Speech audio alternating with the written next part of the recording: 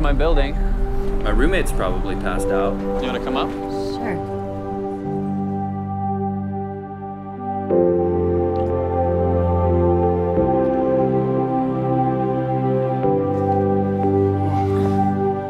Did you hear that?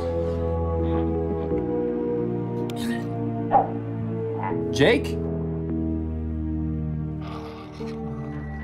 Jake? You alright, man? Jesus. Jake! What happened to him? Immediately thought meningitis, but there's no fever and no increased white blood cell count. This doesn't look like anything I've ever seen. I live here. I need to know. Did Jake have a job? You shot trauma interviews. True Healing is a video library of people who have experienced trauma. I don't think they're just interviewing people. What do you mean? I think they're tracking the disease. We did the autopsy. There were tiny holes in his brain. Has it spread? We don't know. I'm gonna figure it out. So they knew about this disease and they didn't care.